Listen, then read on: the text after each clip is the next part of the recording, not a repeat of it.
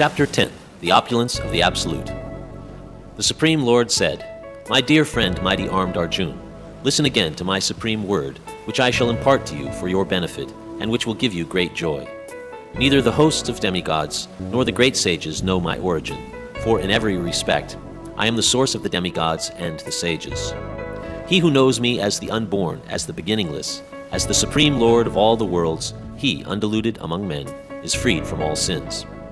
Intelligence, knowledge, freedom from doubt and delusion, forgiveness, truthfulness, self control, and calmness, pleasure and pain, birth, death, fear, fearlessness, non-violence, equanimity, satisfaction, austerity, charity, fame, and infamy are created by me alone. The seven great sages, and before them the four other great sages, and the Manus, progenitors of mankind, are born out of my mind, and all creatures in these planets descend from them.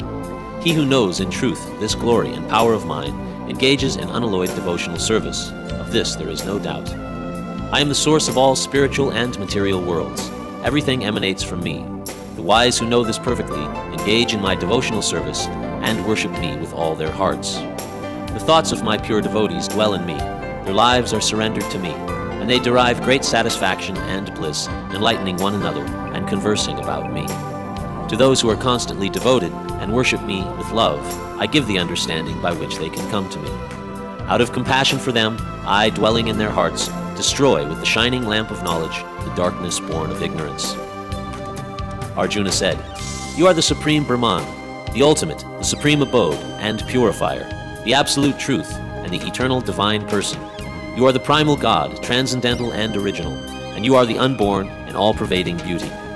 All the great sages such as Narada, Asita, Devala, and Vyas proclaim this of you, and now you yourself are declaring it to me. O Krishna, I totally accept as truth all that you have told me. Neither the gods nor demons, O Lord, know thy personality. Indeed, you alone know yourself by your own potencies, O origin of all, Lord of all beings, God of gods, O supreme person, Lord of the universe. Please tell me in detail of your divine powers by which you pervade all these worlds and abide in them. How should I meditate on you? In what various forms are you to be contemplated, O blessed Lord? Tell me again in detail, O Janardana, Krishna, of your mighty potencies and glories, for I never tire of hearing your ambrosial words. The blessed Lord said, Yes, I will tell you of my splendorous manifestations, but only of those which are prominent, O Arjun, for my opulence is limitless. I am the Self, O Gudakesha, seated in the hearts of all creatures. I am the beginning, the middle, and the end of all beings. Of the Adityas, I am Vishnu. Of lights, I am the radiant sun. I am Marichi of the Maruts, and among the stars, I am the moon. Of the Vedas, I am the Samaveda. Of the demigods, I am Indra. Of the senses, I am the mind. And in living beings, I am the living force, knowledge. Of all the Rudras, I am Lord Shiva. Of the Yakshas and Rakshasas, I am the Lord of wealth, Kuvera.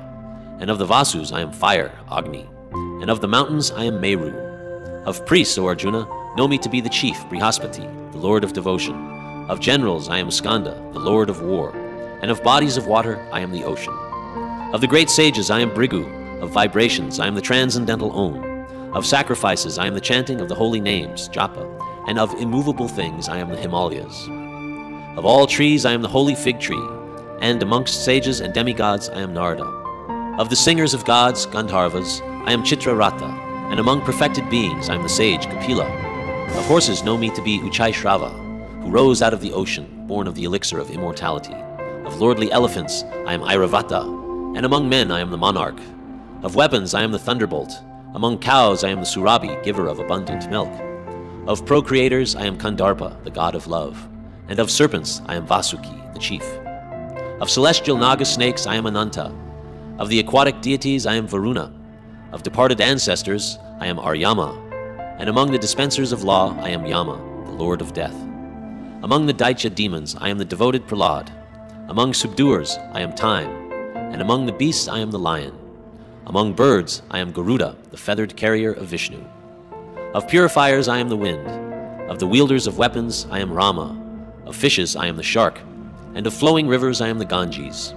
Of all creations, I am the beginning and the end, and also the middle, Arjun. Of all sciences, I am the spiritual science of the self, and among logicians, I am the conclusive truth. Of letters, I am the letter A, and among compounds I am the dual word. I am also inexhaustible time, and of creators I am Brahma, whose manifold faces turn everywhere. I am all devouring death, and I am the generator of all things yet to be. Among women I am fame, fortune, speech, memory, intelligence, faithfulness, and patience. Of hymns I am the Brihat Sama, sung to the Lord Indra, and of poetry I am the Gayatri verse, sung daily by Brahmanas.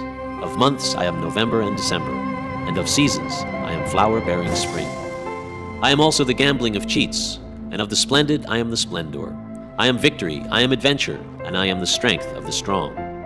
Of the descendants of Vrishni I am Vasudev, and of the Pandavas I am Arjun. Of the sages I am Vyas, and among great thinkers I am Ushana. Among punishments I am the rod of chastisement, and of those who seek victory I am morality. Of secret things I am silence, and of the wise I am wisdom. Furthermore, O Arjuna, I am the generating seed of all existence. There is no being, moving or unmoving, that can exist without me.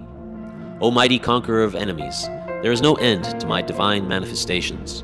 What I have spoken to you is but a mere indication of my infinite opulences. Know that all beautiful, glorious, and mighty creations spring from but a spark of my splendor. But what need is there, Arjun, for all this detailed knowledge? With a single fragment of myself, I pervade and support this entire universe.